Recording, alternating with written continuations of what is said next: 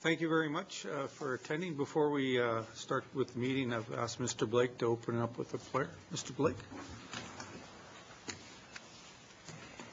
Thank you, Lord, for this day. May many more come. We thank you for all the blessings you have bestowed upon us. We ask that you watch over our constituents wherever they may be. We ask all this in your holy and precious name, Lord. Amen.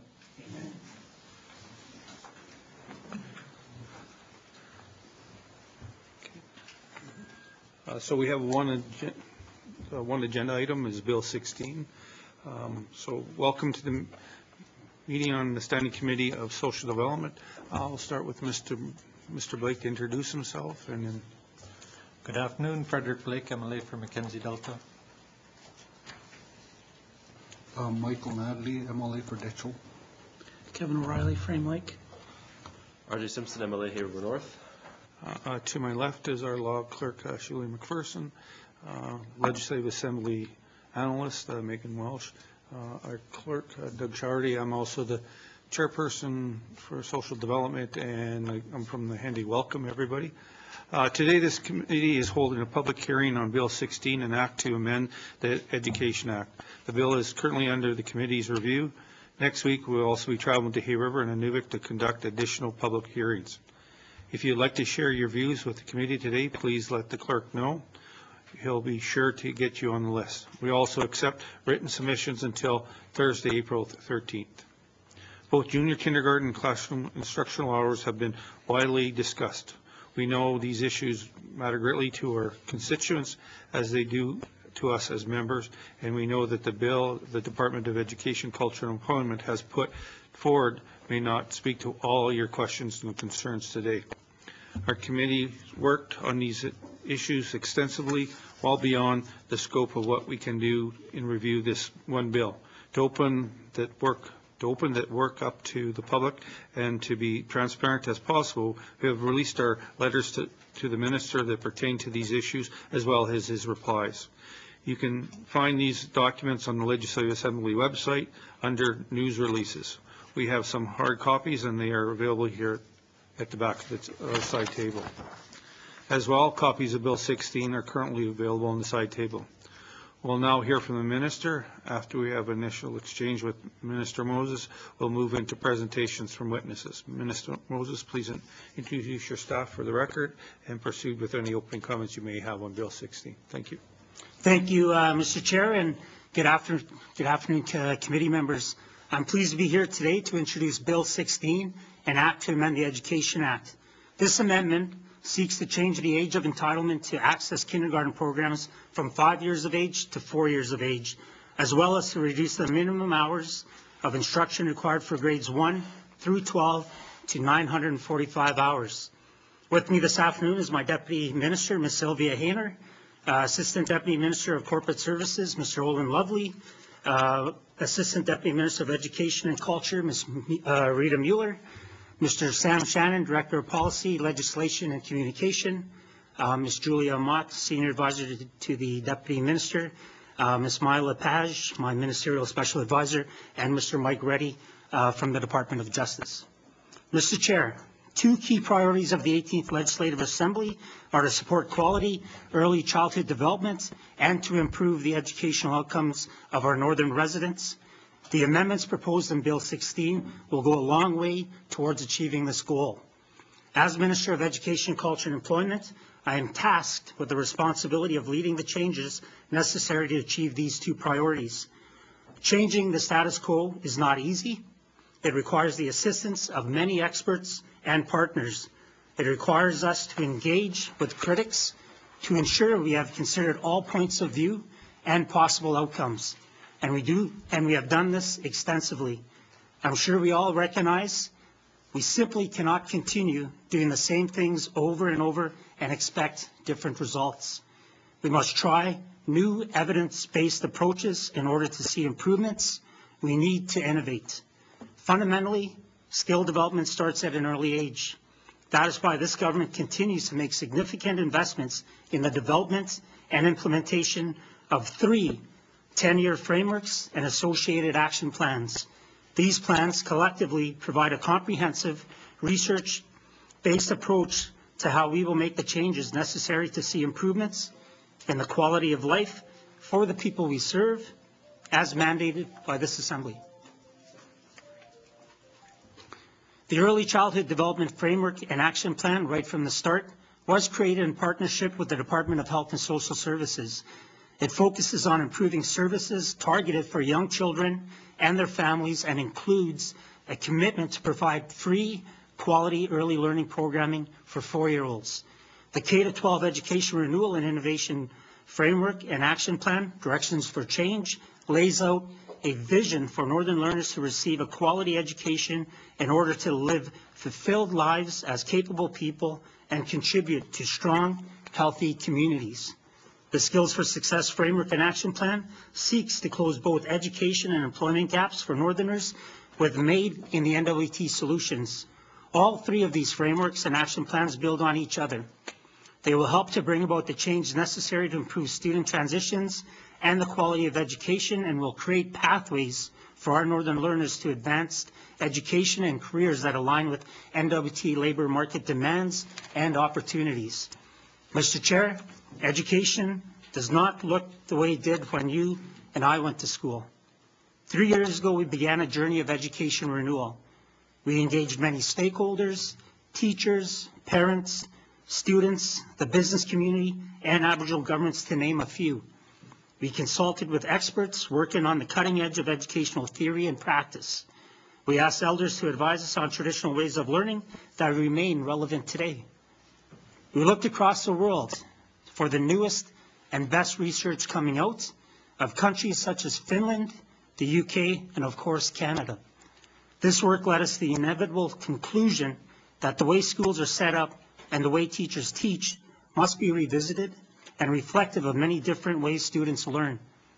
We learned about self-regulation and brought it into the schools with very promising results. E-learning, piloted in the Beaufort Delta, brought students some wonderful successes to the point that other regions are keen to introduce it. The Deh Gah School in Fort Providence told us they wanted to change the school year to accommodate community cultural activities and family events. They made this change and improved both attendance and student engagement and had time to connect students to their cultural practices in a much more meaningful way.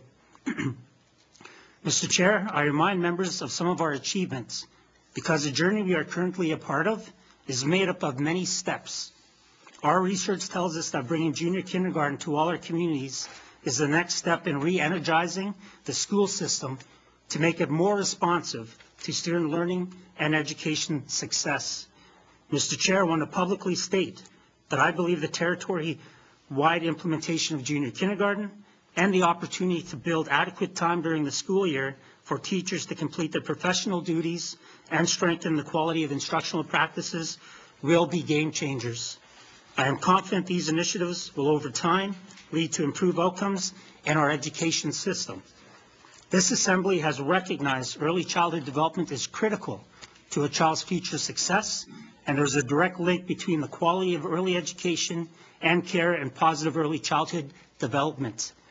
Data from the Early Development Instrument, or EDI, has shown us that many, that many NWT children are vulnerable in one or more critical development areas, reflecting the need for investment. In fact, EDI data has shown that 38% of five-year-old children in the NWT are vulnerable in one area of their development, as compared to 20% in the rest of Canada. In the small communities, as many as 53% of five-year-olds are vulnerable in one area.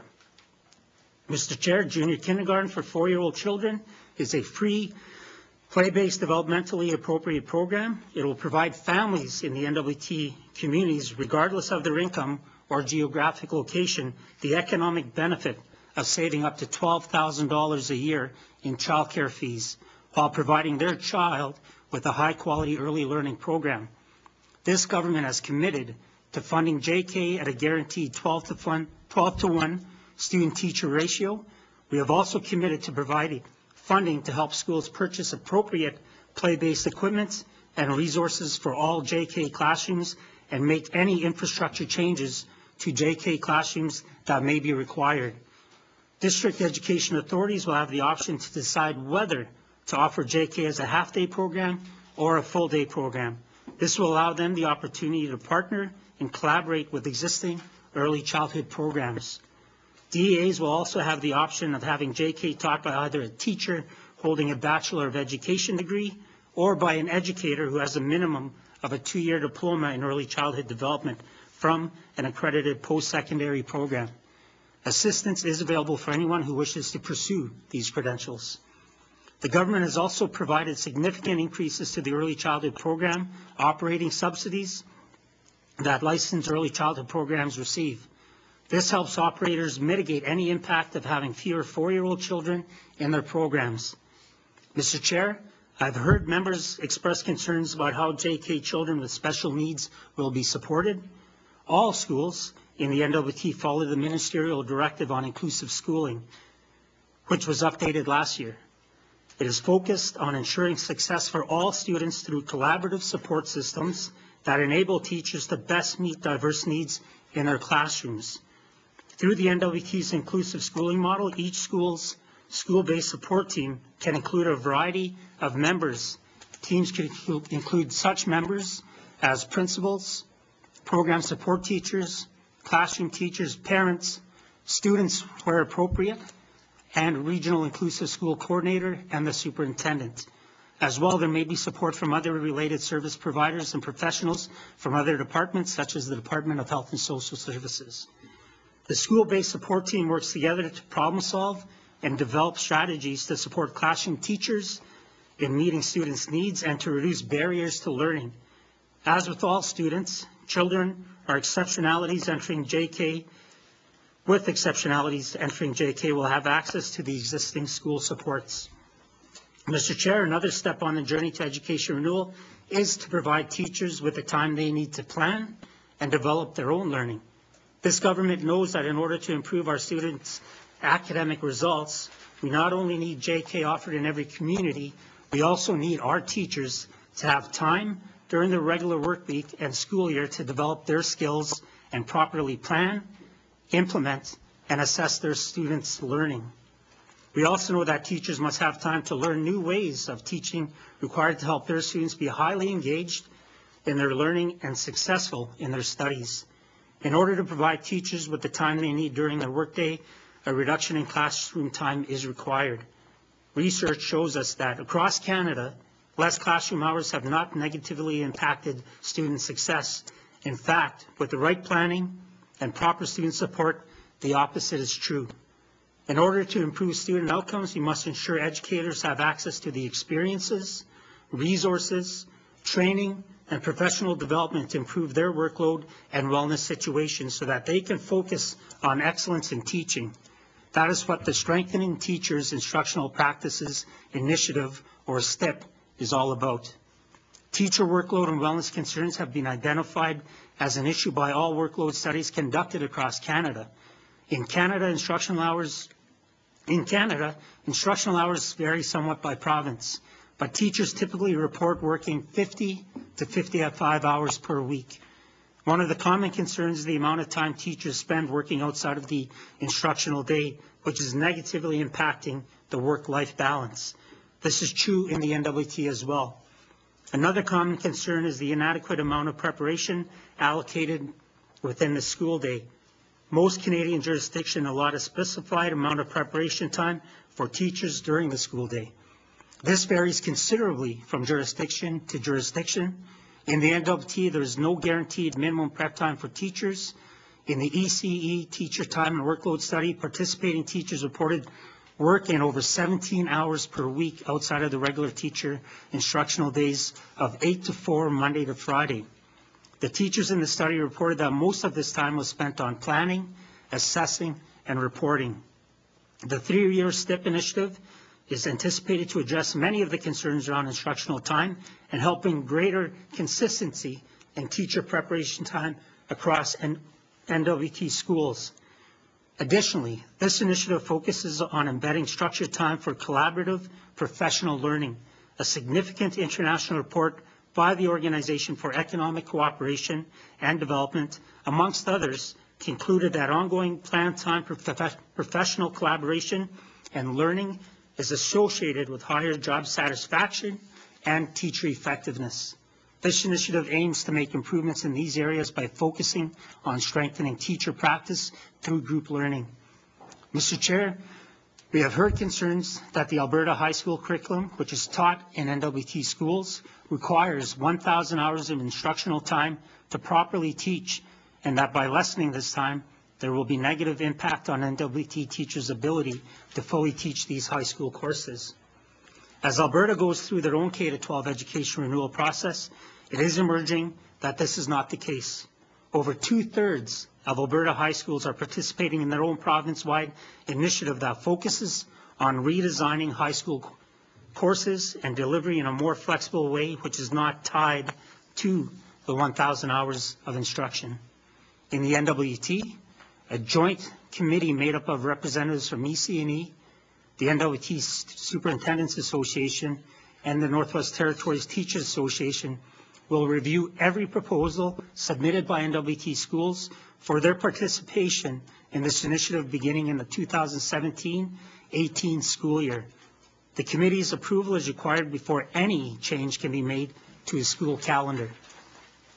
This joint committee is also developing an evaluation plan to identify appropriate ways to measure the success of this initiative.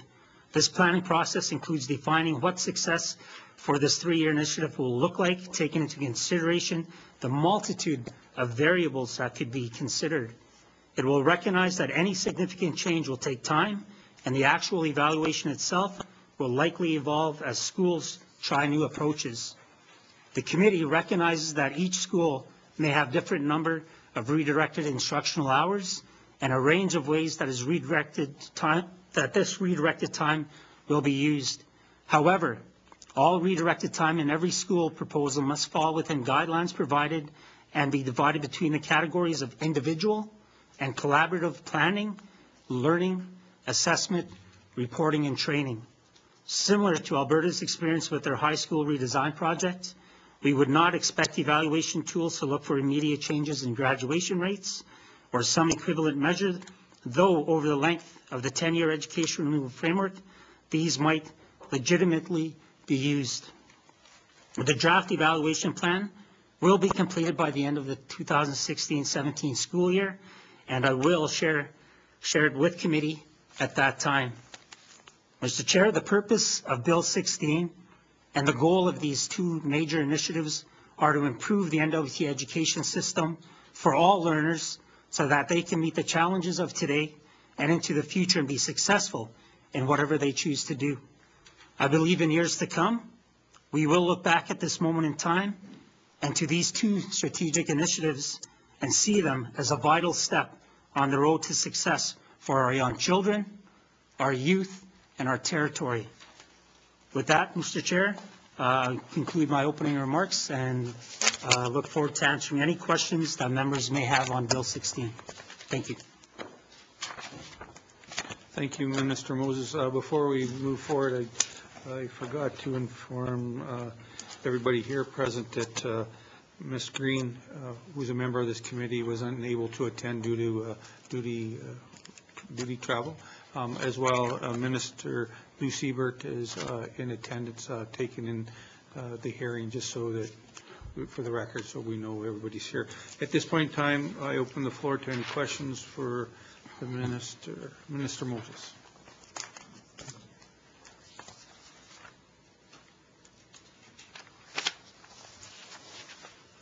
Mr. Simpson. Uh, Thank you. Uh, The legislation uh, contemplates a change of the uh, the age that children will be allowed in school from uh, five to four. Now, uh, junior kindergarten has already been running without this change, and it can, my understanding is it's a program of ECE, it ca- it can continue to run. So what is the point of uh, enshrining this in legislation? Thank you. Thank you, Mr. Simpson. Minister Moses. Thank you, uh, Mr. Chair. Uh, Initially, when we started the education renewal process of uh, changing up how we, we teach our uh, students and looking at early childhood development, uh, the junior kindergarten was a piloted program. And uh, now that uh, we've seen some of the success in the community, we do have to uh, make it legislation to allow for the four-year-olds into the uh, JK to 12 system. Thank you. Thank you. Chair. Minister Moses, Mr. Simpson. Thank you, Mr. Chair. I'm looking for uh, the technical specific reason why it has to be changed, because there are four-year-olds in the school system, in the pilot programs of junior kindergarten. I haven't found anywhere in the legislation that says pilot programs can only go on three years, that the EC has, can only run uh, programs for three years, and then legislative changes need to be made. So uh, can someone give me a technical answer why this, this change has to be made? Thank you, Mr. Chair. Thank you, Mr. Simpson. Minister Moses. Thank you, uh, Mr. Chair. Uh, Previous, when the program was a piloted project, uh, schools had the option of providing junior kindergarten in the program. As Minister of Education, Culture and Employment, and I've said it uh, many times, that uh, I can't pick and choose where we run certain programs in the, uh, in uh, the territory. We need to make this legislated so that all schools have the opportunity to run junior kindergarten program in their schools. Thank you, Mr. Chair. Mr. Moses. Mr. O'Reilly. Thanks, uh, Mr. Chair. Yeah, In the uh, minister's opening remarks on uh, top of page eight there, he talks about how the um, change in instructional hours is uh, uh, really a three-year initiative. Um, And I'm just wondering if you can confirm that that three-year initiative is, is it's tied to the collective agreement in the uh, MOU that was negotiated with the Teachers Association. Is that correct? Thanks, Mr. Chair.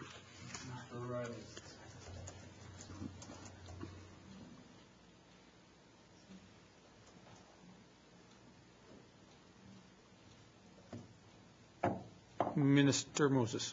Thank you, uh, Mr. Chair. Um, When the uh, MOU was, was brought forward in the collective agreements, uh, we looked at uh, how we can uh, evaluate the program, look at the instructional hours, and we're piloting in the three-year program. Uh, YCS and YK1 are also looking at it during their, their bargaining agreements. So we wanted to pilot it and evaluate year after year to see how it's working out and if there's any changes that we need to make, how we can improve it as we go from year to year.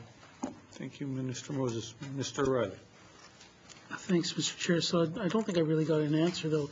This, um, so it's described here as a three-year initiative. Um, Can the minister then tell me when it ends and when the collective agreement and the MOU end, and whether that's uh, happening at the same time? Thanks, Mr. Chair. Thank you, Mr. O'Reilly. Minister Moses. Uh, Thank you, uh, Mr. Chair. And uh, I believe it is a three-year agreement uh, moving forward with the, uh, the the uh, STIP, with the, and the, uh, the MOU. Thank you. Thank you, Minister Moses. Mr. Simpson.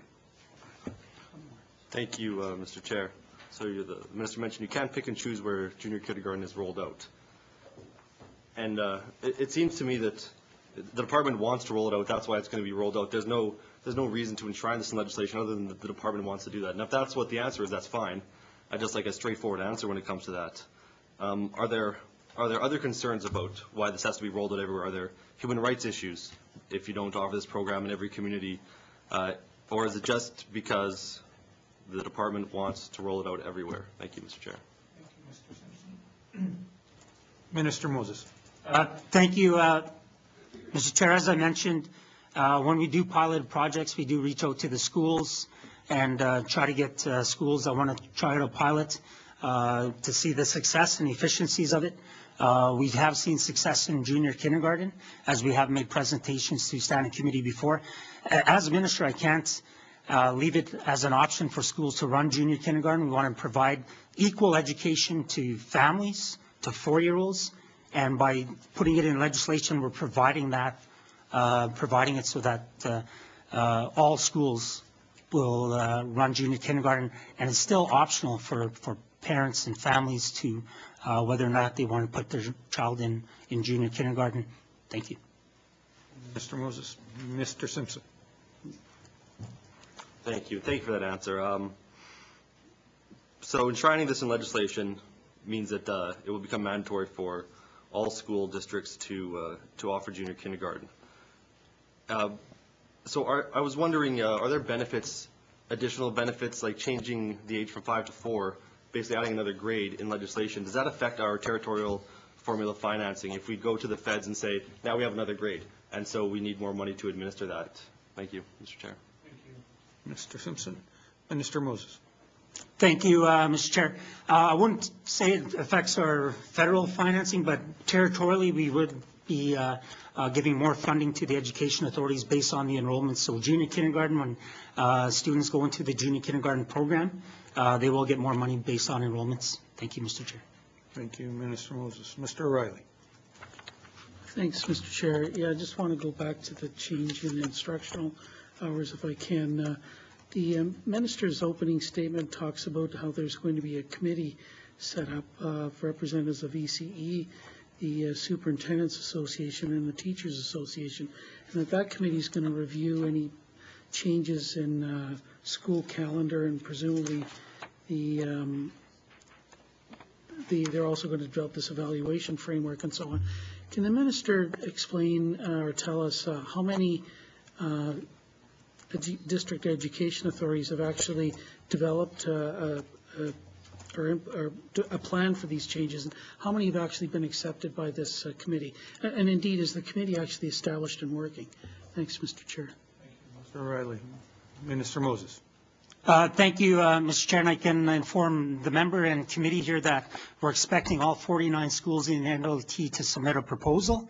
Uh, I believe right now about half of them have been uh, looked at it and approved, and uh, moving forward, we're hoping to uh, review the rest of the uh, proposals that the schools are, uh, well, submitting their proposals here.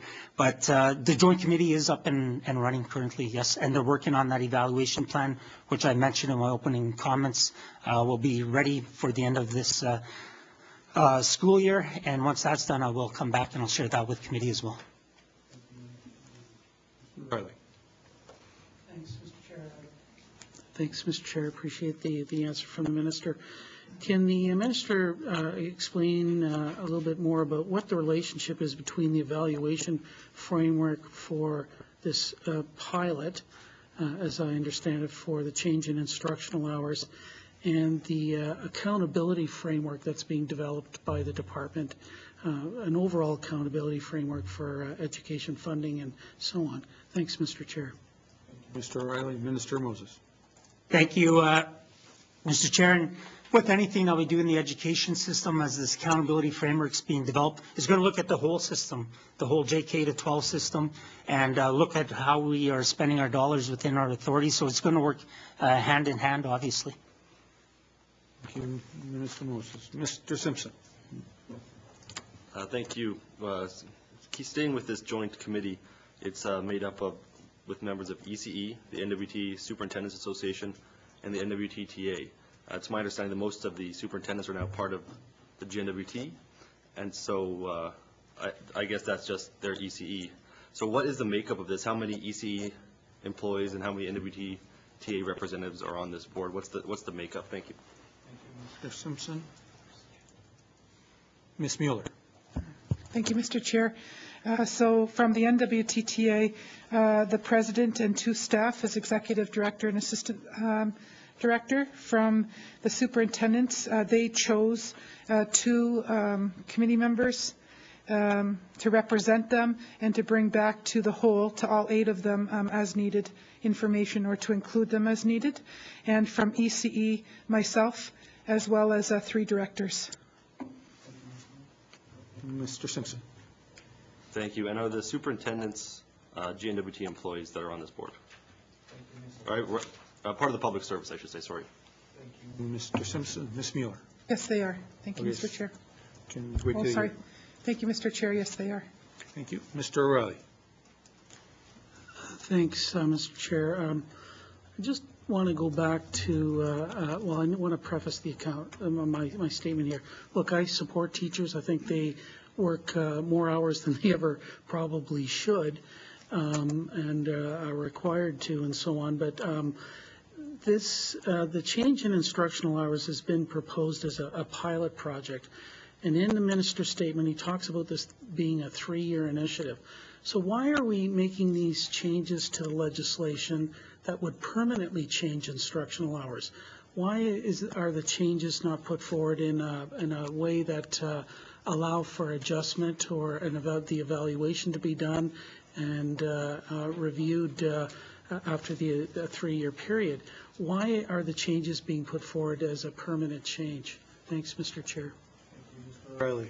Minister Moses. Thank you, uh, Mr. Chair. Uh, Currently, the uh, minimal annual instructional hours are set out in the Education Act. Uh, For us to go move ahead in this pilot and and allow this to happen, we do need to change uh, the current minimums, which is, I believe, uh, 1,045 hours from the uh, grade 7 to 12, and we need to have that reflective of uh, uh, what we can provide to our schools so they can participate in the program. Thank you, Mr. Chair. Mr. O'Reilly. Thanks, uh, Mr. Chair. Uh, Maybe I wasn't as clear as I uh, could or should have been, but uh, would it not be possible to draft the- the the change in instructional hours in a way that would uh, uh, allow for um, uh, the, or uh, to make it clear that this is uh, being done as a pilot project and that it is going to be reviewed after three years? Could we not draft the legislation in a manner that would do that rather than permanently change uh, the instructional hours so that if something is, does, it doesn't work out in terms of the evaluation, it's going to require another legislative change. So can't we uh, build in some greater flexibility with the, uh, the legislative, uh, with the legislation and allow for the, the instructional hours to be reviewed at the end of the pilot project uh, and, and build that into the, the legislation itself? Thanks, Mr. Chair. Thank you, Mr. O'Reilly. Minister Moses. Thank you, uh, Mr. Chair. Uh, Currently, at this time, uh, we wanted to make sure that uh, for all schools to participate uh, in this project, and then we also shared a graph uh, chart with committee there uh, with the instructional hours that are currently happening within some of our schools. This will allow the schools to uh, be, have more flexibility in how they uh, manage their instructional hours. Maybe a little bit more detail, I'll ask my deputy minister for a little bit more detail. Thank you, Minister. Ms. Haener. Thank you, Mr. Chair. Um, When you look at, at the minimum hours um, that are required un- under the Act, there's a great deal of flexibility for grades one to six, given the, the numbers of, of maximum, or the minimum outlined in legislation there, in terms of what's achievable with the, uh, with the pilots that we wish to undertake. Um, There's less flexibility uh, for us, given the minimums outlined for grades 7 to 12, and that's the area of concern that we have. We want um, to ensure that the same opportunity is available to teachers um, and schools and and students uh, and and communities who are participating and and supporting these changes um, for all grade levels um, rather than having it vary between um, the elementary and, and the higher grades. So that's kind of where our issue arises right now. Thank you, Ms. Haener. Mr. Simpson. Uh, Thank you. Uh, My first question, well, I'll I'll stick with the instructional hours. Uh, The department sort of usurped the authority of this committee by entering into an MOU that required legislative change, which requires votes from, uh, from this House as well as approval of, uh, you know, input from this committee as to a bill. It's really uh, not the way this government's supposed to work. It's not the way that uh, democracy is supposed to work. And so uh, what is uh, the consequences? Has the, has the department thought about what happens if uh, this change to the instructional hours uh, doesn't make it into legislation? Thank you, Mr. Chair. Thank you, Mr. Simpson. Minister Moses. Thank you, uh, thank you, uh, Mr. Chair. Uh, This is the process right now, where we come and present before committee on the bill, uh, then you go out and take it out on the road to get uh, public input. Um, This is something that uh, the teachers wanted uh, when the MOU was developed, and we wanted to respect their wellness and their workload. And uh, the research that has also been shown across Canada, we looked at jurisdictions, I believe six provinces that uh, decreased their time, seeing significant, some, some improvements. And the research that we did uh, go and, go out and look at did show uh, some good improvements in the decreased time. And I'll actually go over to the uh, Deputy Minister for a little bit more detail. Thank you, Minister Moses. Ms. Haener. Thank you, Mr. Chair. Um, The bargaining team, both on, on the part of the Teachers Association and the GNWT, is very cognizant of where the lines are in terms of, of how far it can go um, in entering into agreements um, at the bargaining table. And when you take a very, uh, when you take a look at the MOU that was entered into, there is nothing in there that binds the GNWT uh, to make legislative change. We have come forward here uh, today and, and earlier through the process, um, having entered into that MOU and recognizing that, that we had something that we want to do jointly with the Teachers Association to improve the education system, and recognizing that the legislation itself creates um, some barriers or some inequity in terms of how we can roll out that pilot to all grades, um, uh, for all grades uh, in the school system. Um, It is not the intention to compel any legislators, yourselves, to, to make the legislative change. We are making the case here for change, and we are hopeful that you would support it. But the pilots can proceed without making legislative change. Um, What will happen is that those pilots will differ. They will look different for the elementary grades versus um, the more senior grades because of, of the hour uh, minimums outlined in the current legislation. Thank you, Mr. Chair. Thank you, Ms. Haener. Mr. Simpson. Yeah, and I'm aware there's nothing that binds the GNWT, but uh, you made an agreement, and uh, the conclusion of that agreement, uh, you know, according to reports that we saw in the news, it was sort of, uh, th- this 100 hours was, was part of it. I mean, uh, who- would an agreement have been reached without this 100 hours? And so, what's the contingency if this bill fails? Thank you. Thank you, Mr. Simpson. Minister Moses. Yeah, just for clarification, it was up to 100 hours. So all schools are submitting different uh, instructional hours. Uh, Should the bill not pass, as, as you heard from my DM, then all our teachers that are teaching at the, uh, the high school level would uh, have a harder time in terms of uh, what's already outlined in the current Education Act, which is 1,045 hours. And uh, by putting that into legislation, we allow them the flexibility to do the things that I had mentioned in my uh, opening comments, planning, assessing, and doing professional development for themselves as well. Thank you, Mr. Moses. Mr. O'Reilly. Thanks, uh, Mr. Chair. Um, A couple of questions along the same lines that I've been pursuing here. First off, I guess, I want to make sure that the uh, accountability framework that's being developed, um, that that that will include um, identification of uh, particular, in- uh, specific indicators around uh, teacher wellness, that the- we're not just going to leave this to the development of the, uh, the evaluation framework for this three-year pilot, but the accountability framework itself will identify uh, indicators of teacher wellness, and that that will be, uh, become part of how we uh, uh, evaluate uh, the overall system. Thanks, Mr. Chair. Thank you, Mr. O'Reilly. Minister Moses.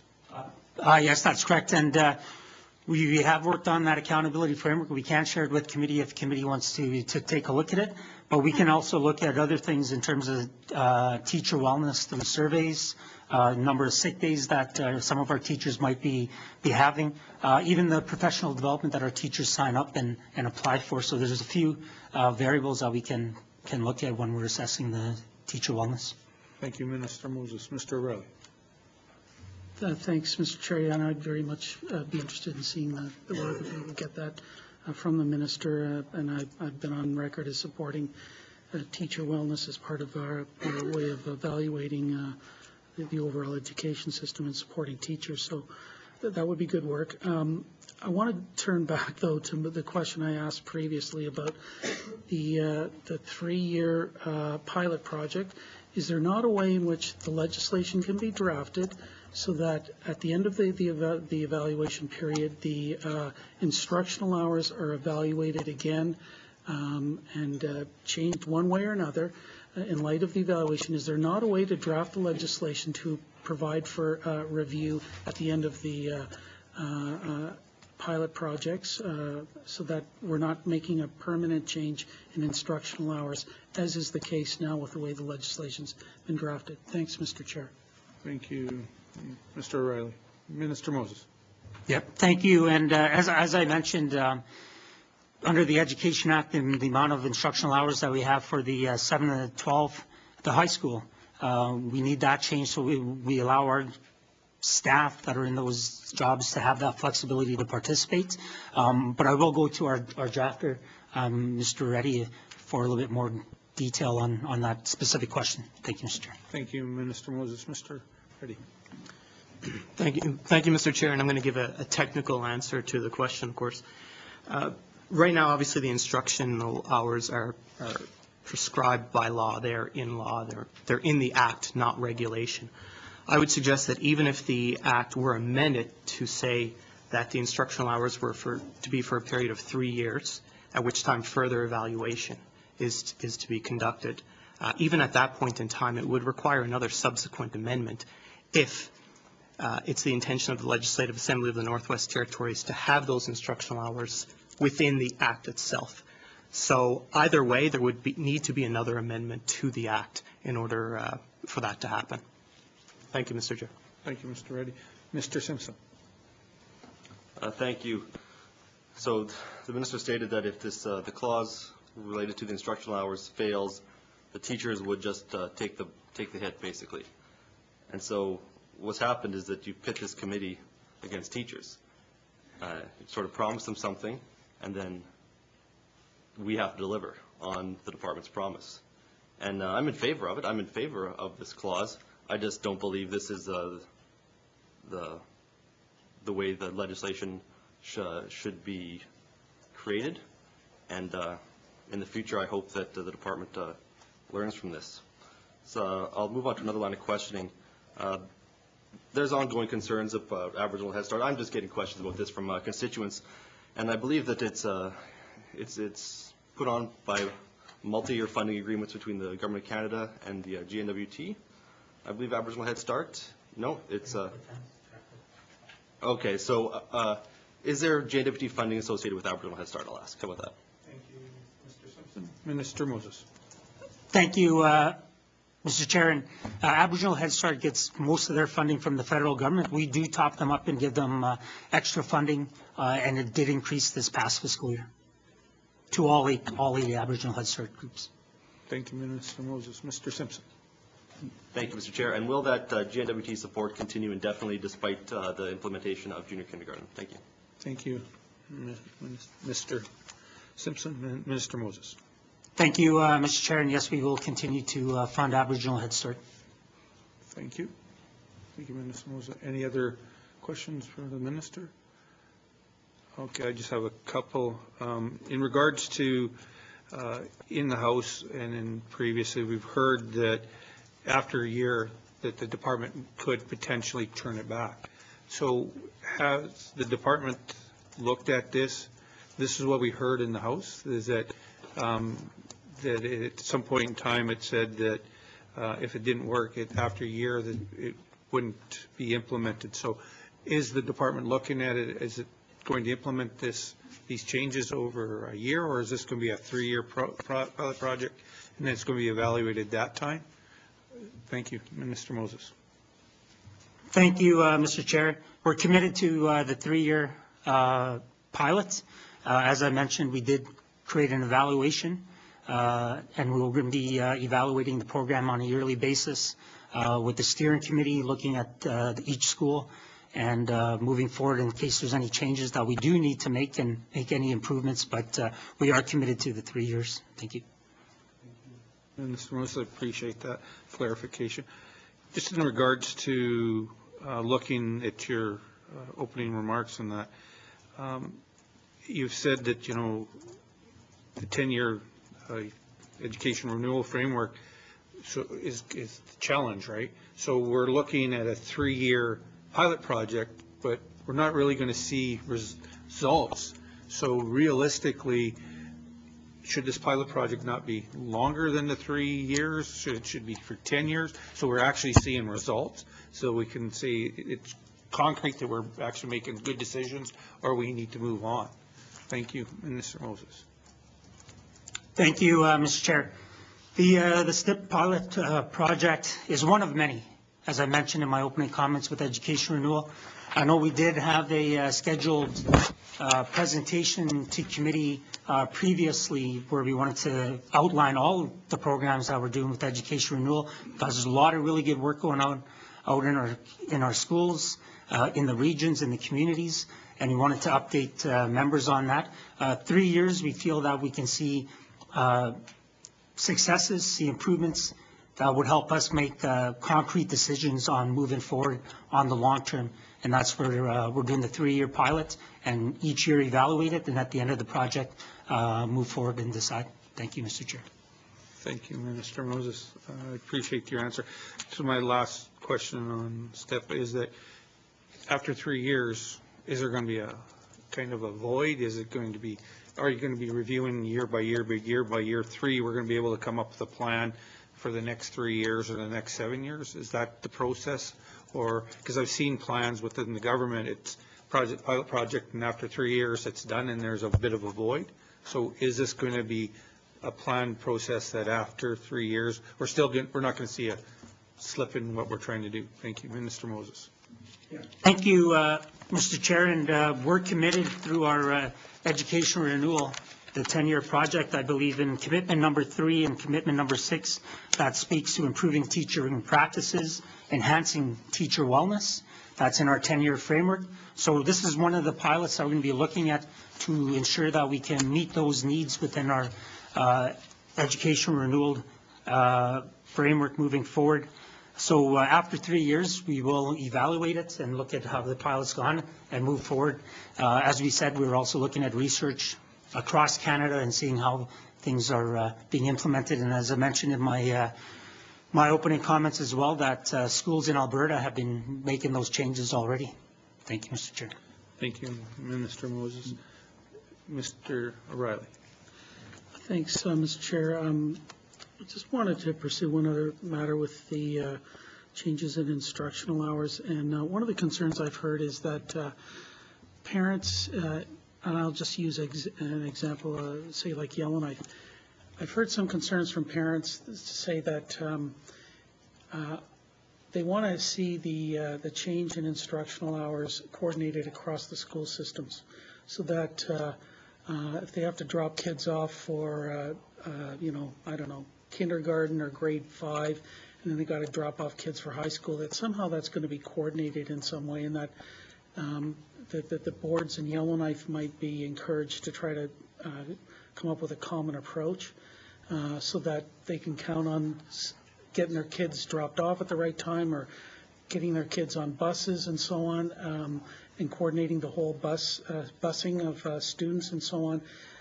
What sort of parameters are, is that c- joint committee using in terms of evaluating the proposals that are put forward? And is coordination of the um, start times and so on within a community, is that one of the considerations? Uh, um, You know, we can't tell the school boards what to do, but is that something that the, the joint committee's uh, looking at? Thanks, Mr. Chair.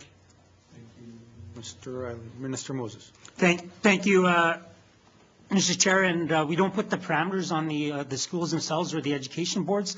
Uh, Very unique here in Yellowknife that we do have three uh, education bodies that need to work together, and, and I, I can see where the members coming from hearing concerns here in, here in Yellowknife. It's up to the schools to, uh, to uh, come up with the, their, their proposals, and the joint, joint committee reviews it. Obviously, they want to do what's best for not only the student, but the families as well, uh, while- when they're participating in this pilot. Uh, Maybe for a little bit more detail, since uh, Ms. Mueller does sit on that joint committee, she can uh, give a little bit more information on that. Thank you, Mr. Chair. Thank you, Minister Moses. Ms. Mueller. Thank you, Mr. Chair. So um, the joint um, committee, to answer the member's question, we haven't put parameters on when school starts or ends. Um, That's up to each uh, education authority. Uh, But I uh, can tell you that uh, all three uh, Yellowknife um, education authorities are really committed to what's, doing what's best for their families that they serve. And they also understand that many families in Yellowknife have some children in one authority and, and other children in another authority, and they're very aware of that. And I think that they make every, um, every uh, possible effort to always coordinate, not just because of these upcoming, this opportunity to uh, do things differently, but every year. They sit down multiple times during the year to try to coordinate major sporting events or major professional development opportunities where they can share resources and facilities. And uh, it's my experience that they continue to do that. Thank you. Mr. O'Reilly.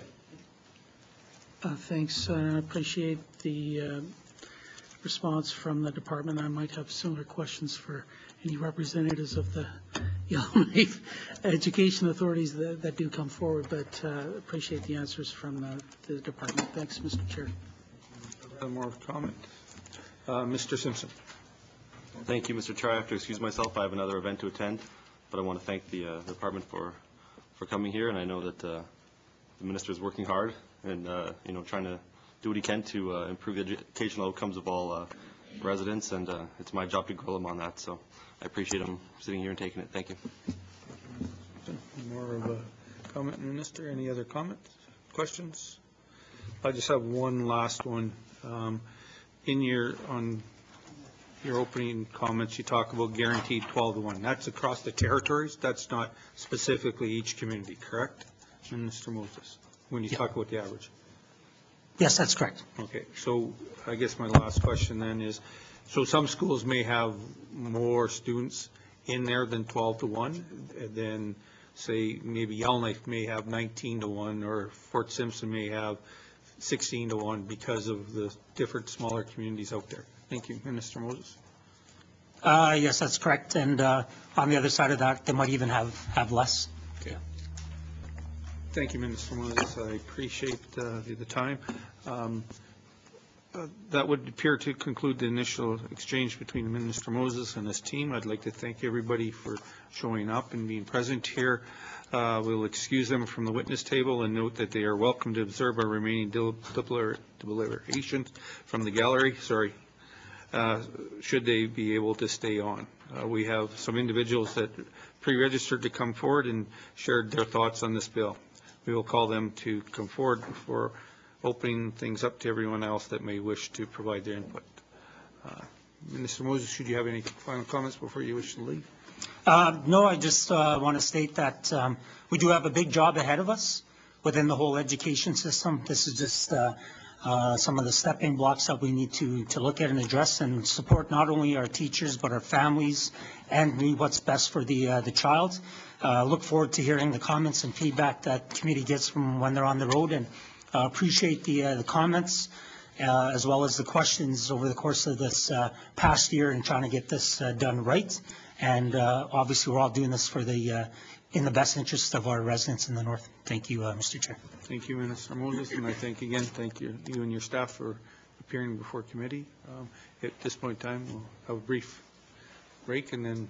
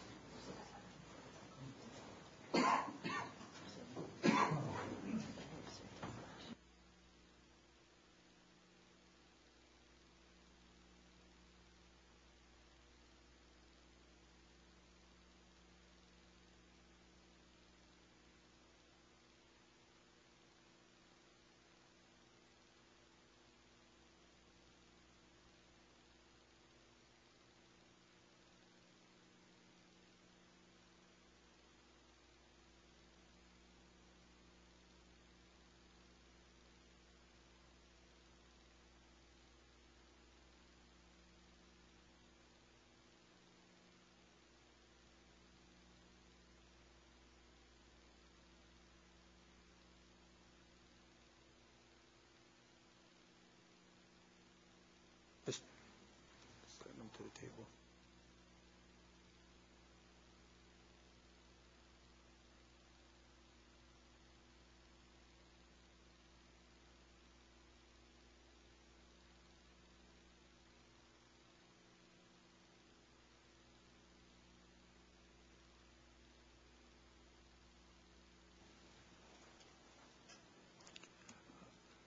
Thank you. Um, Welcome back from our brief uh, break here. Um, Can you please state your name and any affiliation you may have with an organization or group and proceed with your comments, Mr. Oh, Wait, Mr. Oliver, yes, okay. Thank you, Mr. Chair. My name is Fraser Oliver, and I'm the president of the Northwest Territories Teachers Association. And this is uh, Adrian Amaro, who is the NWT Executive Director. Um, I think we were, uh, mentioned that we are both on the STIP committee, so you've put a name, put a name with a face here. And uh, we're here today to speak to you on the proposed changes to Bill 16 and to let you know uh, the positive impact that STIP has had on our schools this year and, uh, and what schools are planning to do next year. Uh, We'd like to encourage you to support the changes to Bill 16 that would include amending the ages from five to four years old and amending the instructional hours to be more in line with the rest of Canada to, to a minimum of 945 hours. We also understand that uh, you will be traveling to Inuvik and Hay River this week. Although, uh, although travel to these uh, regional centers is important, it's unfortunate that our teachers in these communities will be on spring break, and uh, that may impact the number of uh, uh, presentations from teachers that you may hear during these times. The NWTTA, like many concerned parties in the Northwest Territories, was happy to hear about the additional funding for junior kindergarten that was recently announced. We have stated from the beginning that we support the idea of junior kindergarten as long as it is funded. There is a reality here in the Northwest Territories that many of our young students start school with a significant delay, uh, development delays. NWT schools can offer universal support for all four-year-olds across the north. Every community in the Northwest Territories has access to a school. Schools have the infrastructure already in place to support the needs of these students by trained professionals who are able to assess, evaluate, and support the needs of these students. The NWTTA supports changes to reduce the minimum instructional hours down to 945 hours, not only to help reduce teacher workload, which we know sits at around, an- of an average of around 40, 52 uh, hours per week, but also to improve the learning environment of the schools by providing time for teachers to meet and collaboratively plan together. This will lead to improvements in student achievement. To date, because of the STIP MOU, most teachers have had an opportunity to have one or two days without students to work on report cards. The amount of time needed to complete report cards varies by grade and school, but up to now, the majority of this work has been done on evenings or on weekends. Many teachers have commented to the NWTTA, to their superintendents, and to their parents that uh, the value of being able to complete report cards on this day. More than one teacher has stated that this is the, uh, been, has been the most positive change to their working conditions they've ever experienced. And here are some of the comments that some teachers have shared with us. It has allowed me time to complete report cards during the school day, which took a lot of stress away from me as I was able to spend time with my family on the weekend. It, it has given teachers more time to connect with each other regarding student learning and supporting students. It has allowed for cooperation in order to strengthen concepts and strategies uh, used uh, in subjects and grades. And it has allowed teachers to support one another. It is also worth mentioning that the proposals for STIP that have been proposed to our committee all have, all have kept these um, STIP days for teachers to complete report cards. There's been a lot of debate over the merits of strengthening, teach, uh, strengthening teachers' instructional practice, MOU or STIP. These changes are not giving teachers time away from the school, but allowing them time to meet at school and to plan with other teachers, as well as receive in-service to strengthen their teaching practices. Here are some examples of what schools, and instructional practice are planning for next year. So I've taken these right from their STIP proposals, that they, that these have been accepted by the committee. And I, and I'll just read some of these. Uh, The STIP plan will give teachers time to complete tasks such as report cards, uh, IEPs, SSPs, and to build on current professional learning committee uh, pra- uh, pr- process by allowing more opportunities for student sorry, for teacher collaboration and, and response to intervention. Most importantly, our STIP time will be set as a framework for our instructional coach to work with teachers one-on-one to help strengthen instructional practice within the school, which in turn benefits students. Another school. Um, By implementing the STIP pilot in our school, teachers will better be able to collaborate in their professional learning communities, create and plan new forms of assessment, and look at how data should drive our practice as teachers. This will give teachers the opportunity to support one another, as well as the students, and lead them to improving student benchmark levels by a minimum of two grade equivalents.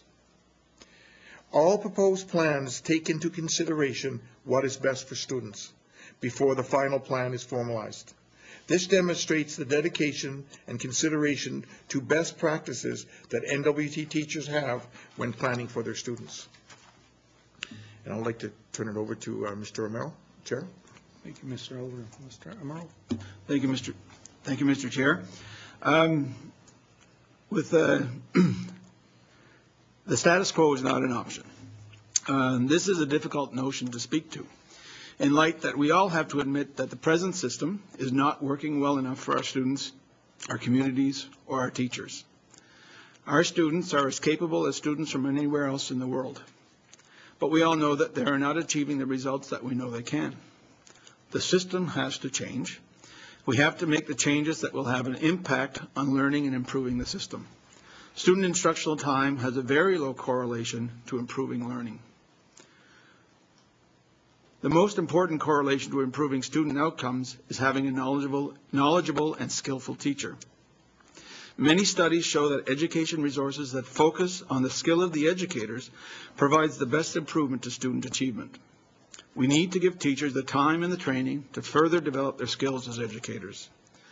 One of the highest correlations to improving teacher instructional practice is to have time to work collaboratively with each other. One of the objectives of reducing instructional time is to allow for some job-embedded collaborative practice. As demonstrated by research, we need to make improvements in our system that will have the biggest potential for improving our schools. One of the things that we need to find is time to make the improvements. And the reduction of instructional time or redirected instructional time is one way to do that. At this time, I'd also like to note that we're not looking to reduce the workday. We are hoping the redirected instructional time from what is already the longest instructional day in Canada to allow time for the other work that teachers are required to do. If we continue to do what we're doing, we will continue, continue to keep getting the same results. Improving the working conditions of our teachers will have a positive impact on student success. There is significant teacher turnover in northern NWT schools. This is expensive financially and takes a great deal of administrative time as it takes work to develop young teachers. Principals are often working in isolation and in many small schools also see significant turnover. We want the best teachers in the country working in our schools, and it takes time and resources to develop teachers. Some of that development is done by the self-directed professional development that teachers do, but there also has to be time in the school day to develop their craft. If we continually ask that our teachers work in conditions that are not optimal, they will continue to leave. While STIP alone will not solve all of the changes that are needed in education, it is a step in the right direction we, we know that we will see positive change to student achievement if we allow teachers the time to work collaboratively. We also want to acknowledge there are other things that are important to improving schools. Low attendance rates, teacher retention, uh, housing concerns in communities, the impact of residential schools, and many other things affect the, the effectiveness of our schools. I will once again ask, the, NW, the NWTTA encourages you to support the changes to Bill 16 you know, my closing comments to Mr. Oliver? Thank you, Mr. Chair. Mr. Oliver? Um, As you know, Adrian Amaro and I are here representing the 800 teachers. And so you can say we've got our association or union hats on. But, but Adrian and I have been teaching uh, combined for 61 years. And so we're, we're really been teachers for most of our lives. And so we're also here as teachers. And uh, with, for teaching for 61 years, we've had a love for education and a desire for kids to succeed. It- it- we have our, our, our track record here in the Northwest Territories is there. Um, That's why teachers work 52 hours a week. There's that passion that we want something good for our students. And often, many teachers put their own students ahead of their families when it comes to their time. Um, we too want to make sure that good things are happening to our kids. And we believe that the changes proposed in Bill 16 will, will move in the right direction. And if we didn't believe that uh, Bill 16 would have positive changes in education, we wouldn't be sitting here pr- proposing and supporting that. In fact, we would be here speaking against it. but we believe that the changes in Bill 16 will have a positive impact on students in the Northwest Territories. Thank you, Mr. Chair. Any comments or questions for the two presenters? I don't see any. I thank you both for coming. Oh, Mr. O'Reilly. Uh, Thanks, uh, Mr. Chair. So um, uh, I know that the two of you sit on the uh, um, joint committee uh, that's uh, reviewing the uh, proposals for uh, uh, uh, changes in instructional hours, um, and you're also presumably going to be involved in the development of the the evaluation uh, framework. So um, just, can you just describe for me uh, the work of the committee so far? Things going well? how, how it might be improved or whatever, and then whether you've been able to do, uh, I imagine most of your time's been uh, spent on the, uh, uh, reviewing the proposals rather than getting to the evaluation framework, but when, uh, so if you could just describe when you might be able to get to the evaluation framework, and if you have any sort of preliminary ideas around uh, what that might start to look like, that would, that would be helpful for me to understand that. Thanks, Mr. Chair. Thank you, Mr. O'Reilly. Mr. Oliver. I think one of the words that uh, Dave Roebuck, our previous uh, executive director, has spoken was, uh, he said, this is the biggest initiative the NWTTA has ever been part of in his 18 years with us. So it is a big initiative. I look at my report coming up to AMCC. We, I, without, quick, there's about 30 days that we've met on this with EC&E, superintendents and that. So it is a, uh, Mr. O'Reilly, it's, it is a, a big initiative for us. Uh, A lot of that time was uh, just getting together the proposal to share out with superintendents and schools. And most recently, you're right, in the last uh, two or three weeks, we've uh, been receiving proposals and uh, accepting them and asking, then sending some back to fine tune, like, we don't quite see where your redirected hours are going. Uh, Does this include this um, non-instructional hours in those proposals? And they've been being sent back to superintendents and principals for more information on that. Um, We've had one meeting on, uh, presently, to uh, look at uh, the evaluation process, but once, I would say, by the end of April, uh, or towards the end of April, that's when the, the lion's share of our meetings will probably go, and, uh, and and hopefully, uh, I believe the plan is in place to have uh, evaluation process in place um, towards the end of the school year. Okay, seeing no any other questions, I thank, would like Thank to you. thank you for both for coming and presenting to the committee. Uh, You're more than welcome to stay and listen to the rest of the presentations. Thank you. Stephanie Earl Bach, er, Fox.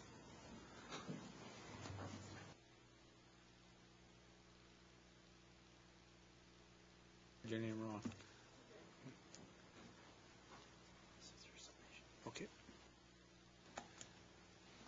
Pres- Proceed. Thank you, Mr. Thompson. Um, I am grateful to the four MLAs who are at this committee today. Um, I have to say, seeing the entire senior management team of the Department of Education get up and leave before other people were here to give their views on this fairly significant policy initiative makes it feel like this might be a little bit of window dressing the department officials, the minister talked about how they wanted to hear from the public and that they're engaging with people. And to get up and leave before people gave their views makes that look a little less than truthful or sincere. Um, I'll start by introducing myself. I'm a product of the Northern Education System. I attended elementary school and high school in Inuvik. I didn't go to school in Yellowknife. So I identify quite strongly with children, with students outside of Yellowknife who are going to be the ones bearing the implications of this proposal. I then went on to get a bachelor's and a master's degree at the University of Alberta, and then I received a full scholarship to Cambridge University in England, one of the best universities on the planet.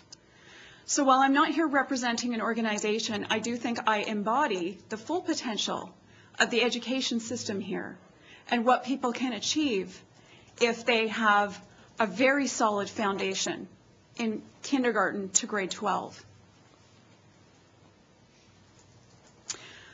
I should say that I am also an adjunct profes- professor at Carleton University in the School of Public Policy. I'm also an adjunct professor at the Faculty of Native Studies at the University of Alberta. I have my own business, and I've spent the past 20 years advising, being a researcher for Indigenous governments across the Northwest Territories, mainly on land claim and self-government agreements. So when I think about the implications of these changes for the education system, I'm not so worried about kids in Yellowknife, children like my own, for example, who have two well-educated parents and go to schools that are extremely well-resourced. I think about the kids in small communities, such as in Mr. Blake's constituency or Mr. Nadli's constituency. I think about the kids whose parents themselves didn't get a great education and who are suffering the impacts of colonization in residential school. And I really wonder what the Department of Education could possibly be thinking, putting this bill before our MLAs to consider passing. I have six issues that I've set out. You should all have received electronically my submission, and I hope that you all have the chance to read it. The first issue, and this is the title of my presentation, is I would like NWT MLAs to maintain the integrity of the Alberta curriculum all I would like MLAs to do is to ensure that if the Alberta curriculum requires 952 or 1,000 hours or 500 hours, that we abide by that. Don't change it. Don't make it any less. The Department of Education has changed their communications over the last several months. They started out by saying, we teach the most hours of everyone and anyone in Canada. Our teachers work a lot more than anyone else. In New Brunswick, they do this. In BC, they do that. We are focused on Alberta. That's the curriculum that we teach here. And so the minimum hours prescribed by Alberta until they are changed is what our students deserve. If they don't get those instructional hours, our students are being shortchanged. They are not getting the hours that Alberta students are getting. Therefore, they won't be getting the same diploma. I know the department has all kinds of fancy arguments and fancy research and all sorts of confusing things that they're trying to use to convince people otherwise. But until Alberta changes their requirements, please don't do this to our children. The second thing, which Mr. Simpson identified, and I really don't think that enough has been made of this, is that the Department of Education signed a union agreement where they promised that they would make proposals for legislative change. I have been sitting at negotiating tables working for Indigenous organizations for the last 20 years. And the one thing that government hammers into us all the time is they cannot possibly promise that Parliament will pass a law or even come up with the money to fund these agreements because there's this thing called the prerogative of Parliament. Bureaucrats cannot promise that you, legislatures, will pass a law. They cannot do that.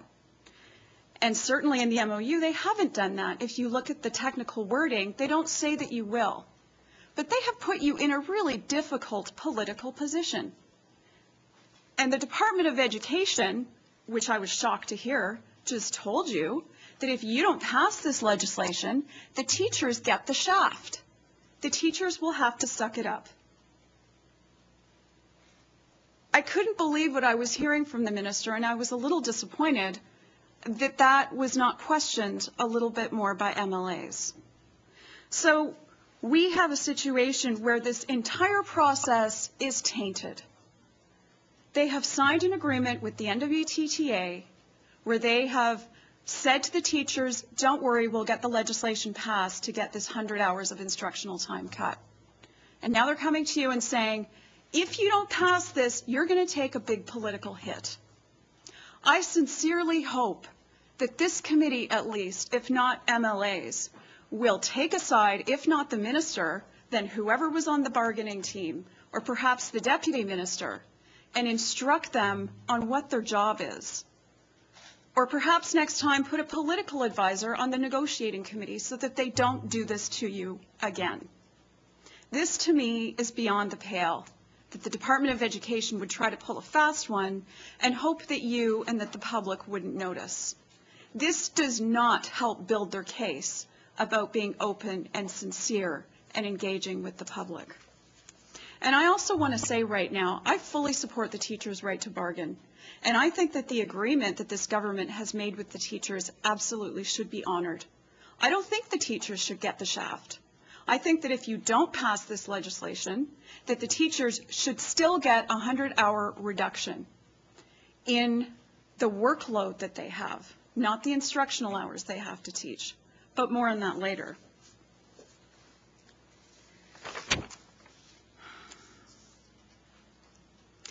The teachers, when they voted on this agreement, I'm sure would have had their legal counsel advising them that the Department of Education can't promise what the MLAs were, would do. So if the NWTTA or if the Department of Education did not fully inform their teachers that they could not bind a legislature, I think that's a significant problem. And the teachers may have been on voting something that they weren't fully informed about. But I'm merely a member of the public. When I asked to see the union agreement, when I asked for any information about it, I was told that I couldn't have it. And indeed, it is a deal between the teachers and the government, and that's their business, and I respect that. I guess this whole thing makes me wonder what's the problem we're trying to solve here? And this leads to issue four in my presentation and the written materials that I've provided you. ECE and the minister has gone before this committee and the minister has spoken in the House, and they are convincing us that teachers work 50, 55 hours now I'm hearing, 52 hours I've heard. Anyway, teachers are working, every single one of them is working an additional 10 to 15 hours a week.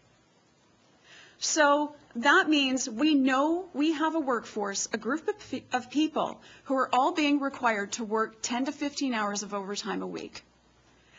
I guess to a regular person, perhaps because I'm not working in ECE in some specialized position, to me, that says we don't have enough teachers. That is our problem. We need more teachers to share this workload. That's the issue that we're trying to solve.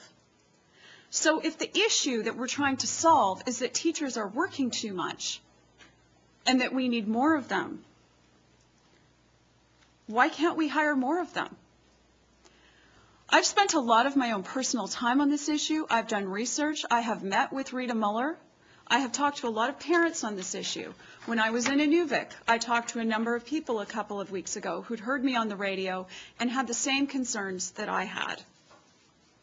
Reducing instructional hours is a de facto budget cut. You have all of these teachers, 700, 800 of them, all working overtime every day, every week. Instead of offering them a raise in salary, because they know that, instead of saying, well, maybe we'll hire more admin staff, maybe we'll hire other support staff for teachers. The best the ECE can come up with is let's cut instructional hours. There have been no other alternatives, to my knowledge, put before the public, put before MLAs, or possible through this legislation. Instead, they've come up with what they're calling STIP, Strengthening Teacher Instructional Practice, and they're conflating it with reducing instructional hours, which means that they're saying if we want to give our teachers professional development, take from our students, stop teaching our students in order to teach our teachers who have university degrees. If we're going to do that, we have to cut the instructional hours of students. We have to not teach the people who don't have an education to teach the people who have one. This doesn't make any sense. I think it would be reasonable if there are seven or 800 people working overtime constantly, that the department look at alternative options to lightening that workload. This is a budget cut. It may not be a decrease in funds, but the paycheck for our students is a good Alberta diploma. what we're now going to be providing is some version of an Alberta diploma, a substandard version probably of an Alberta diploma. The paycheck for students at the end of the day is going to be a lot less. This diploma will be worth a lot less than when I went to school in Inuvik in the 1980s. So what's the implications of this? The education system, a well-educated population, is the foundation of a healthy economy, of a healthy society. It is basically the foundation of our future and future generations. What's going to happen when our students who, after 12 years of getting 50 to 100 hours less, I'm not quite sure because the department itself isn't quite sure, as you just heard, of how many hours will be cut or what will be cut or when it will be cut. Essentially, over the course of 12 years, we are shaving off an entire year of instruction time from the Alberta diploma. So if you're a student in Edmonton, you get all of that instruction time. If you're a student from Yellowknife or Fort McPherson or Fort Resolution or Fort Simpson, you're actually going to get 11 years of instruction. You'll have a full year less. But you have to compete against all those other kids who all got the instructional time. So when you go to university, when you go to trade school, when you go to college, if you want to go into the workforce, you won't have the same Alberta grade 12 diploma. That is simply a fact based on what we know now. As someone who has spent a lot of time in communities working on negotiating self-government agreements and land claim agreements, people ask negotiating teams all the time, what makes self-government work? What makes land claims work? It's not really the agreement you get, it's whether your people are educated. So if this government would like to gut the potential of land claims and self-government, if this government would like to gut the potential and disadvantage Indigenous students in the Northwest Territories who already have so much stacked against them to begin with, let's run with this. Let's give them a grade 12 diploma that gives them a year less instruction of what students in Alberta are getting. This is a really good plan for disadvantaging our future generations, our children today, and for creating problems in the future.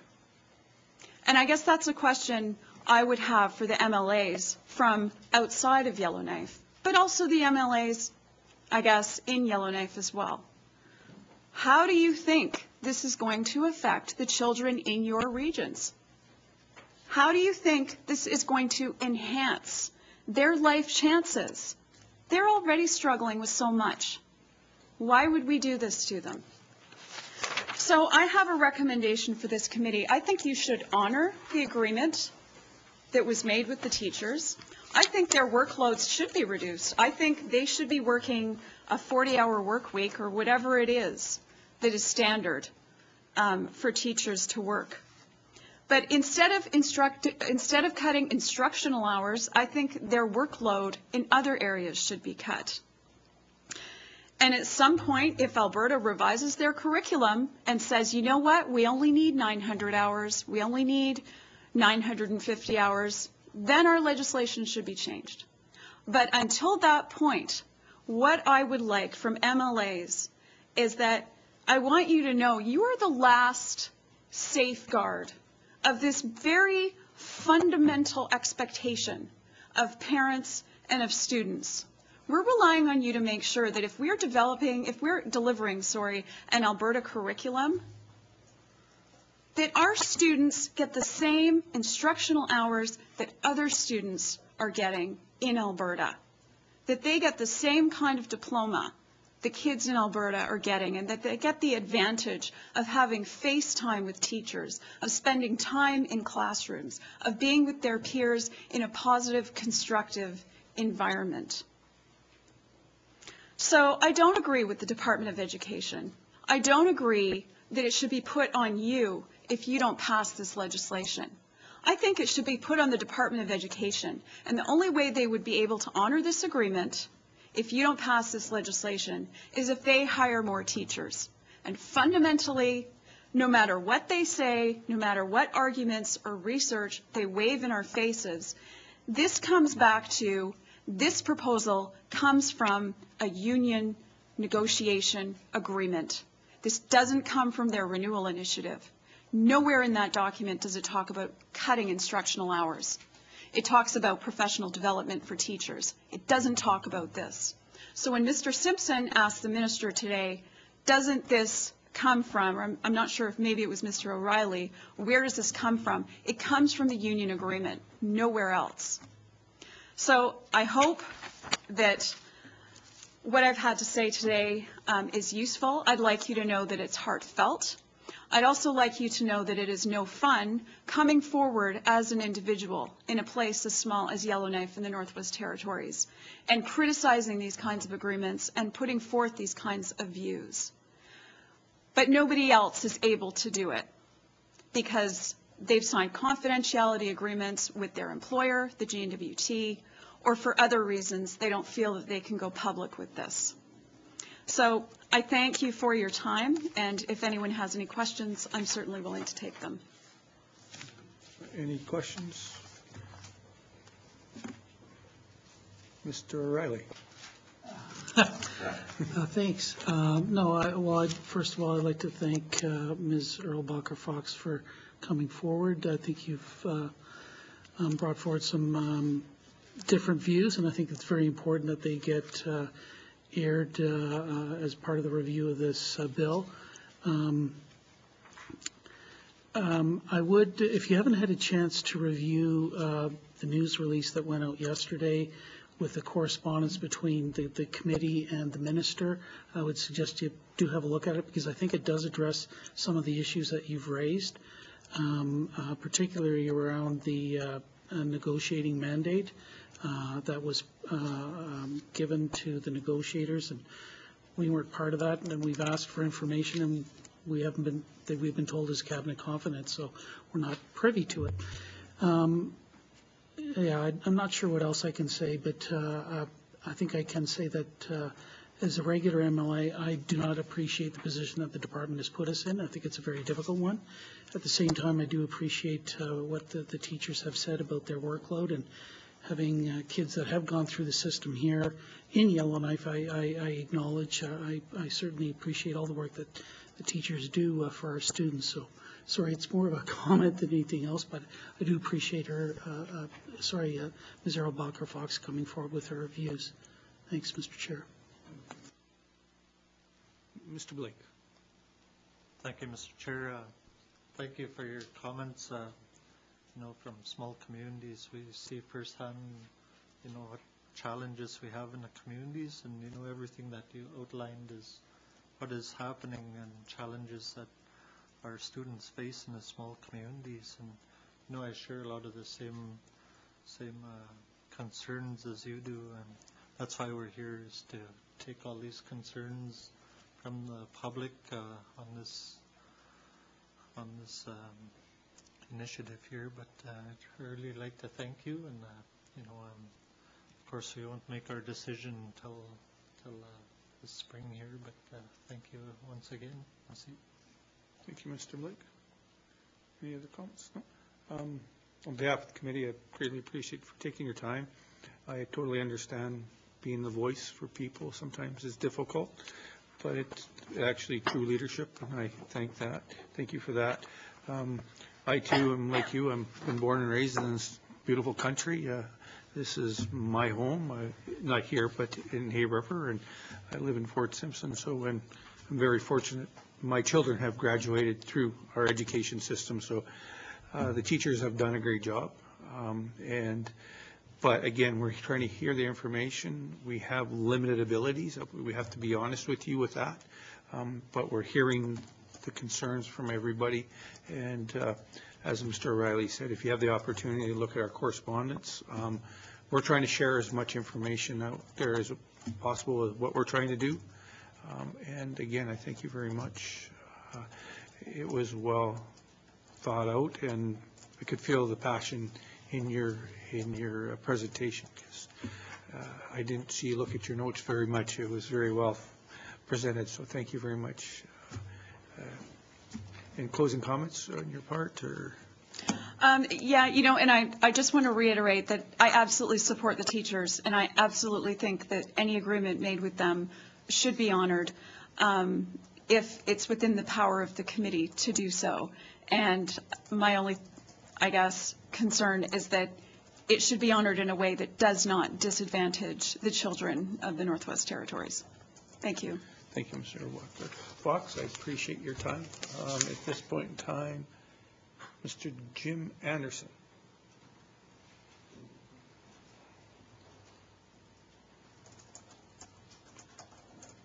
Thank you, Mr. Anderson. Thank you very Uh, much. Can you state who- who you are and what, you're- who you're present- representing? and- Um, I'm representing uh, parents and students. Uh, I'm probably the only person here who's not paid to be here today. Um, I do appreciate the opportunity to uh, speak to the uh, remaining members of the Standing Committee who are here this afternoon.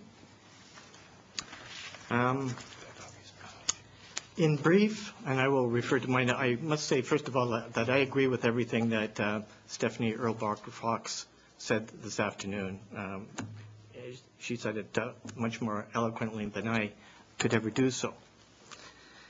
Um, And uh, one point that I would like to bring up from this morning, uh, it's an unfortunate that the education officials are not here at this time, but um, uh, for the MLA that asked a question about the accountability framework, I wouldn't put too much uh, faith in that. They've been working on it for over 20 years.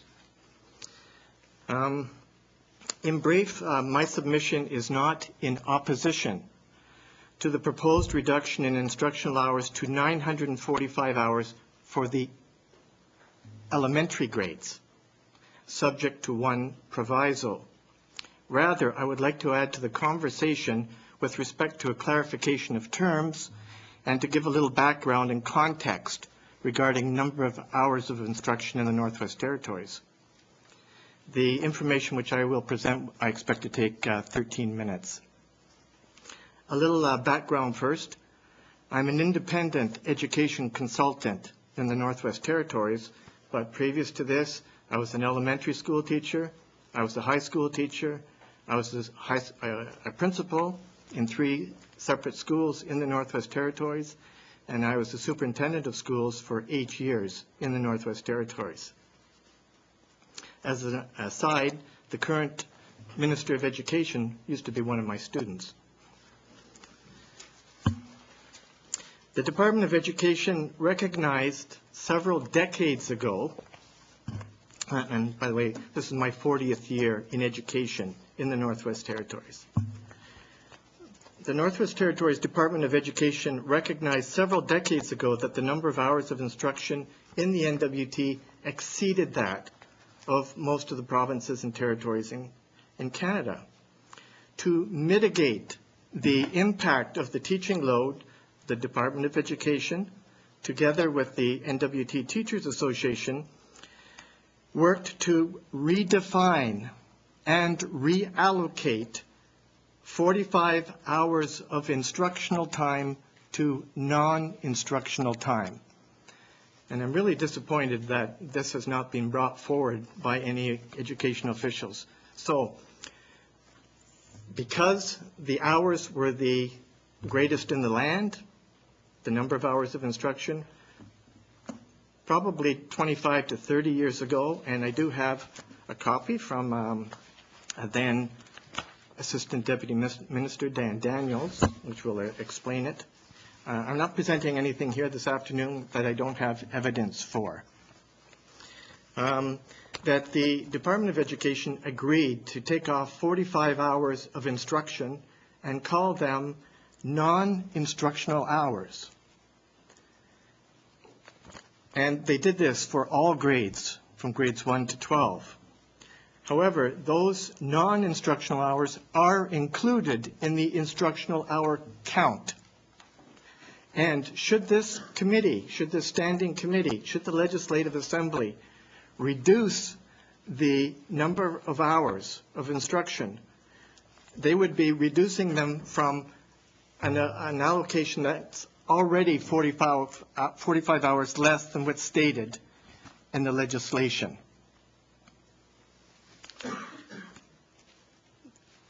the Northwest Territories Teachers Association agrees with my math, and I have it in writing from them as well, saying that the new instructional hours would in fact be 900 hours per year. I have this as an add-in to my submission, not 945 hours, because you have to recognize that 45 hours of instruction is non-instructional. This is time teachers use for clubs, for parent-teacher interviews, extracurricular activities. I'm really disappointed that that didn't come out.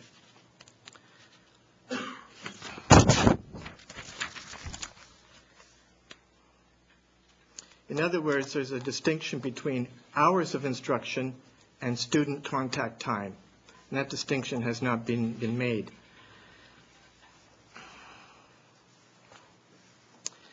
If this bill is passed in its present form, the de facto NWT hours of instruction for elementary schools students will be 50 hours less, about nine days, than the province of Alberta, which is 950 hours.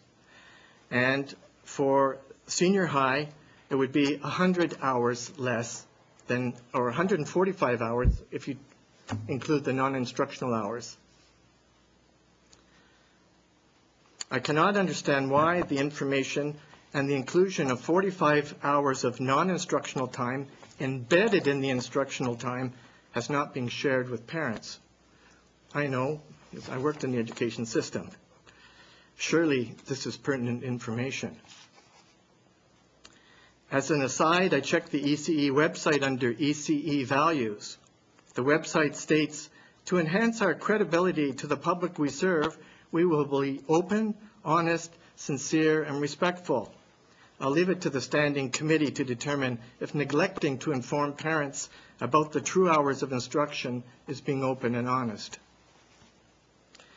One of the activities I perform for school boards is management reviews. I know from experience that many, many teachers at the grade 1 to 9 levels have great difficulty teaching the entire school curriculum each year. There is often simply not enough time. For example, in mathematics, probability and statistics is taught as part of the math curriculum, but if it is taught at all, it is most often taught at the end of the school year because in most math texts, that's where it appears. Now, teachers aren't supposed to teach to the text, they're supposed to teach to the, to the curriculum. I know that from conducting an item analysis of math tests, that many students in the NWT perform poorly in probability and statistics, not because our students are less capable, but because they've never been taught it.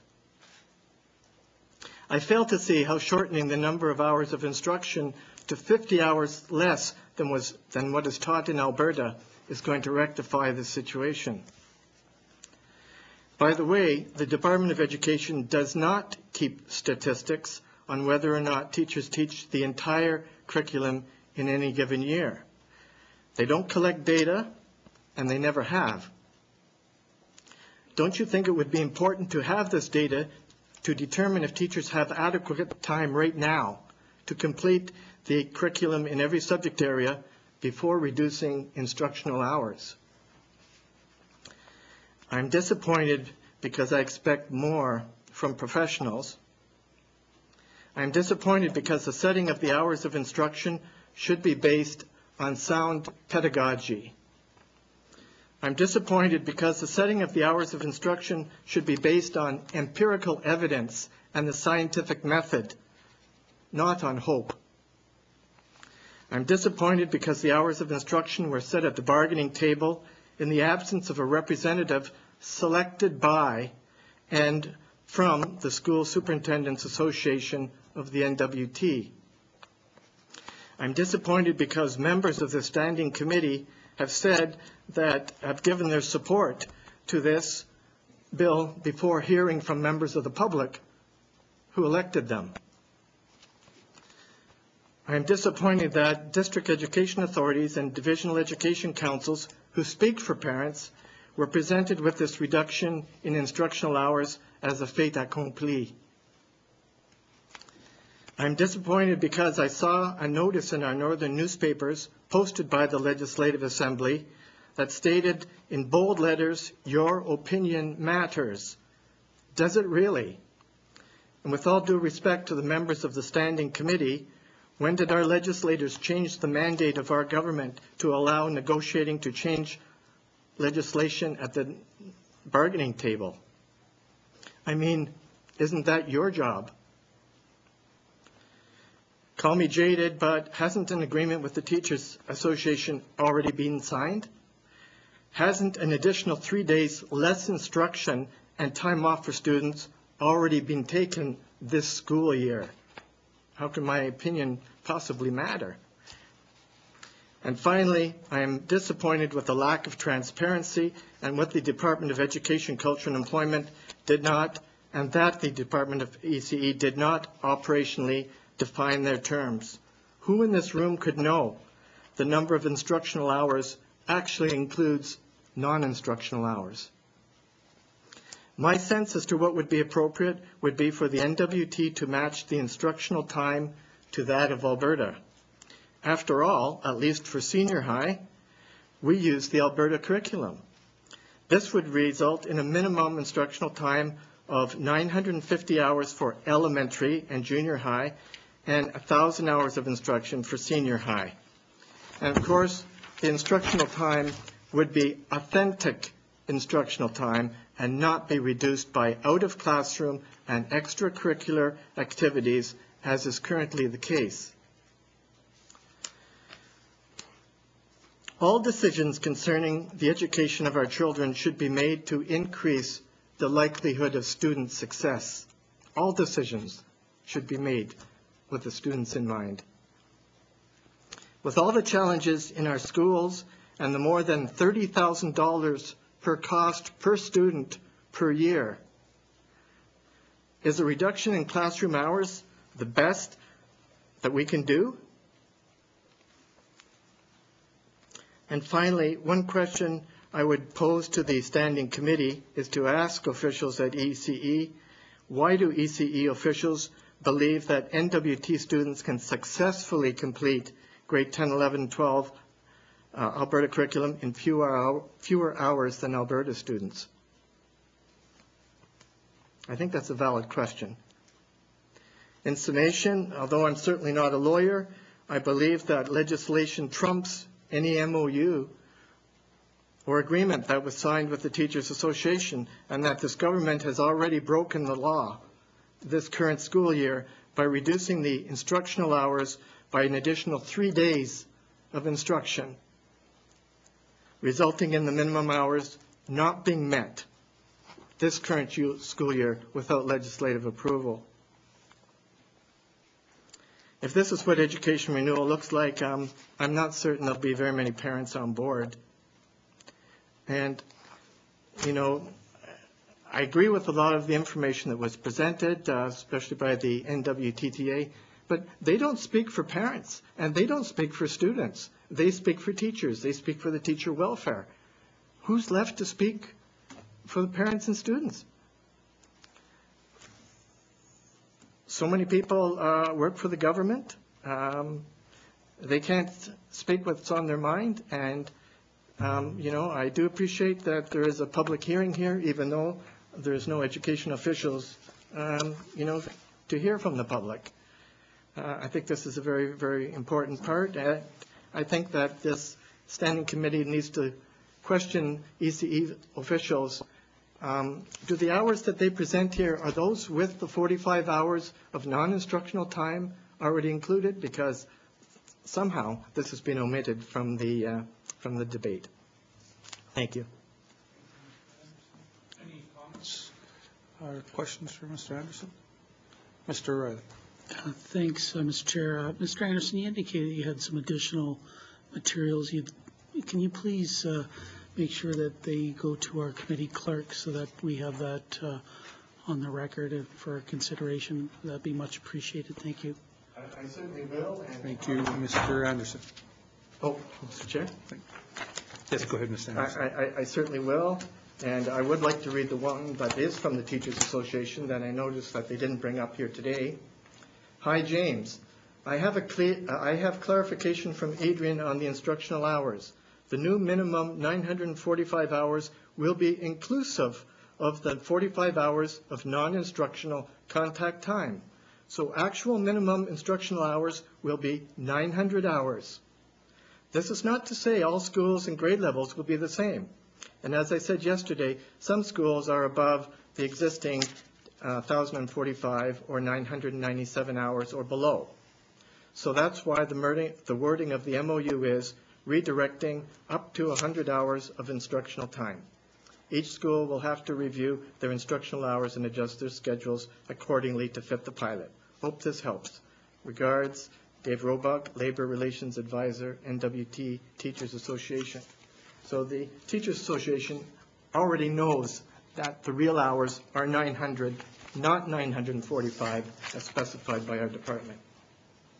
And yes, I'm happy to leave all that information with you.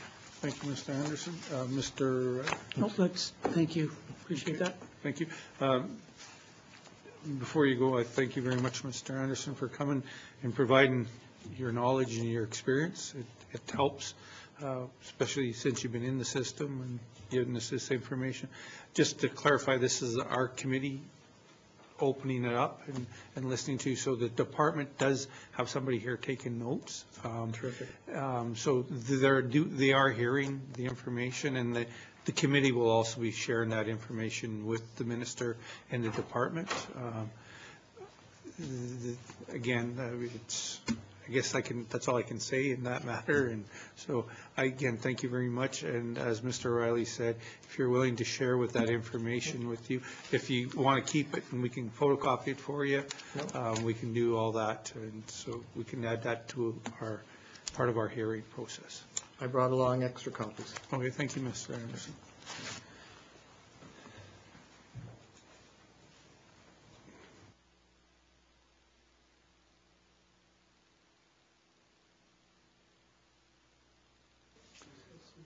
Ozshu, Ozelshu, Ozelshu. Yeah, we'll get there. By the end of this term, I'll have your name down pat. Anyway, thank you, Mr. Ozelshu. Uh, Can present uh, who you're representing and, and from that, thank you. Uh, Thank you, Mr. Chair. Uh, Today, I'm actually before you wearing, wearing two hats. Um, I have a- a brief couple of comments about the instructional hours and and some comments about the, the age change for- to allow for junior kindergarten. Um, And to that, I'll be speaking as the, the chair of the NWT Montessori Society. Um, But instructional hours is just me as a, as a parent, an individual. Um, ju- Just in brief, I know there's been a lot of comments today about the instructional hours and that part of the bill. Um, And, you know, it's, it's an interesting discussion and trying to understand how many hours teachers are in classrooms, and it's uh, important that there's enough time that they have to do their own work and, and provide a good environment for our, our students. But one thing that uh, I, I do have challenge with is that it's, it's a pilot program, as it's been discussed, and yet the change in legislation is permanent.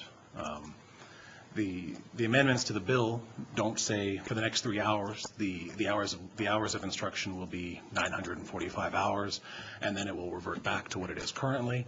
Um, It doesn't take them out of the legislation and put it into regulation to be set by the minister or cabinet, which I would also sort of understand. There'd be some flexibility there. Um, But if it's a three-year pilot and it's a a permanent change to legislation, um, it just seems a bit odd to me um, that to go back, if the pilot doesn't work, we then have to have another legislative amendment in the future um, to bring the hours of- of practice back, uh, which to me implies that it's more of a permanent change, and if so, then it's not a pilot program, it's a permanent program change, and that's fine, but let's call it that, and then have a discussion about the the validity of the program as something uh, permanently changed. Um, I think it'd be fairly simple to add to the legislation a a clause that says this is the way the legislation is set up. This is the number of hours for the next three years, and then in uh, 20 2020, uh, the hours will go back to what they are currently. Um, But uh, suffice it to say, there's been lots of other words about the instructional hours uh, spoken today, so I will, I will leave that. Um, As the chair of the NWT Montessori Society, I know I've before, appeared before you a number of times to talk about junior kindergarten, um, and, and the approach to junior kindergarten taken in the NWT. Um, A concern with the legislation um, is that right now, we're expanding junior kindergarten to every community in the NWT as of September. Um, But there's still a number of concerns. Uh, There's been a number of concerns expressed by committee, by the public. Uh, In the last session, uh, at the end of the session, um, a petition was tabled uh, about making options for junior kindergarten and for people who choose something else to make sure those options are free. Um, There have been a number of uh, concerns expressed all across the NWT, but uh, before we address those, we're simply putting it into legislation that this will happen. Um, I'd like to ask MLAs to take pause on this and say, well, maybe we shouldn't be passing legislation to expand the program to the entire territory until all of these concerns have been addressed. Um, Right now, it seems that there's a- an attitude of, well, it's just going to happen. Um, But I- I'd urge people to take a look at that bill and say, well, maybe it shouldn't happen until we make sure the actual program is set up properly. Uh, In one respect, one very important respect, is that junior kindergarten has been uh, set to be funded at a 12 to 1 uh, funding ratio. Um, That's not a class size limit, that's not anything else, but it's a funding ratio. Uh, Currently, the funding ratio is defined in section 128 of the legislation, and as of 2004, it was changed to a 16 to 1 funding ratio. Um, That's an important number, but I don't understand how, if we're going to move forward with the junior kindergarten program with a different funding ratio that's been guaranteed at 12 to 1, why that's not being included in the legislation as well. Um, If it's something that we're guaranteeing and the department has said this is how we're going to carry on with this program, it's, I think it's also very important that we make sure that funding is included in, in legislation. Um, Often, we, we hear about uh, departments being funded, uh, school boards being funded actually at better than a a 16 to 1 ratio, which is great, so perhaps the, the 16 to 1 should also be adjusted to whatever the reality of funding is. But it, it's important if we're going to have a special funding class, that that be included, since otherwise, um, the department would certainly be uh, in the right, in following along with legislation, to in future years increase that funding, or, or decrease the funding to a ratio of 13 to 1, or 14, or all the way up to 16 to 1. Um, Again, it's, it's a simple extra clause in the, in, in this bill that's not included there, and I think its omission is a, a pretty significant piece going forward. Um, But, but mostly, uh, the importance is if we're going to expand this program to the entire territory at this point in time, um, it, it doesn't make sense with, with the level of, of opposition and questions and changes that are required in the program. Uh, An implementation plan has not been tabled. Um, How it's going to be rolled out is still being determined and still being sorted out. And if that's the case, then, then why are MLAs uh, passing a bill that says this program can be expanded and, and and must be then available everywhere? Those are things that should be answered first. Um, So I can leave it at that, um, but I would uh, just ask that uh, MLAs take the responsibility as legislators to take a look at the legislation and the programs that it enables as it's passing, and not simply take uh, the bills simply as, as tabled in the House already, and acknowledge that changes can and, and perhaps should be made. Thank you very much, Mr. Chair. Thank you, Mr. Welch. Any questions or comments? No? Well, I thank you very much for coming and presenting to the committee. Uh, And if you have any other notes that you wish to share with us, um, please give them to our clerk, or you can send still an email, written submissions as well. Thanks, Mr. Chair. I'll, we'll we'll forward a a written submission as well uh, in the coming days. Okay, thank you very much. Okay, um, s- is there any other presenters? Uh, I guess not. At that point in time, I'd like to thank everybody that came out and presented uh, and came to this public hearing. Uh, It was greatly appreciated. As we move forward, like we said, we'll be in Inuvik and Hay River uh, to hear from the public as well. So uh, thank you very much, and we'll call the meeting to adjourn it. Thank you.